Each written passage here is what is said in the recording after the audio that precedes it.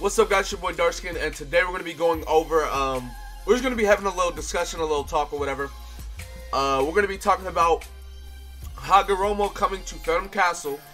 Um, and if you guys don't know how we know it's Hagoromo, you can tell by his spiky hair, you can tell by the staff he has, and you can tell by the robes he has on. The only character in Naruto that wears really big robes, has a staff, and his hair spiky like that is Hagoromo, the Sage of Six Paths. Now, we're not going to be talking so much about Hagoromo, as we're going to be talking more about where is Hamura, right? Where, where's Hamura? Where, where's he going to be? Where's he going to come into play as far as this game goes, right? Hamura is the brother of Hagoromo, and if you guys don't remember, um, he was leaked uh, with Hagoromo. Uh, I, I want to say last year in like September or October, he was leaked with Hagoromo, and you know, almost a whole year later, we are now seeing some of the units. Well, we're seeing Hagoromo. Uh, so the, the bigger question is, where's ha- Hamura? Where's he going? What's he gonna be from? What's he gonna, you know, what's gonna all be going on?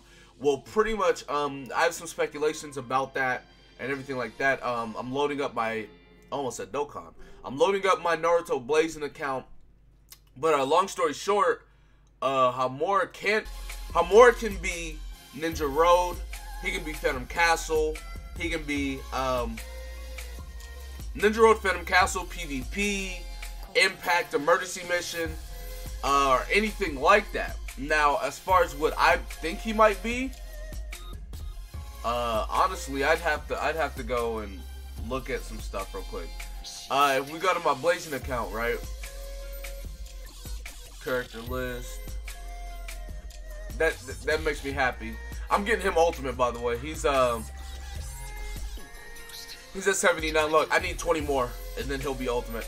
So there's that. Uh, I need to get 1010. I ultimate him. I need to get couple others, a couple others. But what I was going to go to say is, um, Indra and Ashura, uh, they came into the game, right? Well, they are, uh, they're free units, right? They're free units. Now, Indra, not Indra, Ashura was a um, PvP unit, a Ninja World Clash unit. Uh, I didn't get him maxed out because getting his speed boosts literally are meaningless. Like he has 152 speed that goes to 182. Like it doesn't matter. I'm not gonna do that. Right. Um. So yeah, he uh he's a PvP unit, and then when he came out, Indra came out as a Ninja Road unit. Now I did already ultimate him, but he's a body unit and he's actually insane. He has like 20% damage reduction, and he has like a really high attack stat for a mid range. But yeah, so um, he was a Ninja Road unit, and Ashura was a PvP unit. So they were like hand in hand. And at the same time, Kaguya came out, and she was an Impact, while we got Kakashi and Sakura. Fast forward, Madara, Six Path model comes out, Six Path Kaguya comes out, and then they go against uh, Night Guy. So it's just like uh, as Hagoromo is going to be um, Hagoromo is going to be the Phantom Castle. I don't I don't know what could be the counterpart or what could be the correlation of Phantom Castle. I'm not really sure how or what they could do. If they make it an impact, an emergency mission, if they make it um, Ninja Road or what.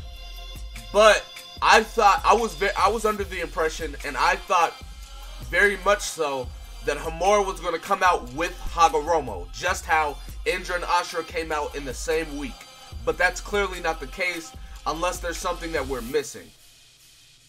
Um, but I, don't I don't see that. I don't know that. So until then, um, this is pretty much all we can assume or all I can you know pretty much come up with. So anyways, that's going to be it for this video. Be sure to give it a like, subscribe to the channel if you're new. Comment down below. Tell us what you guys think in the comment section below. That being said, I'll see you guys next time. Peace.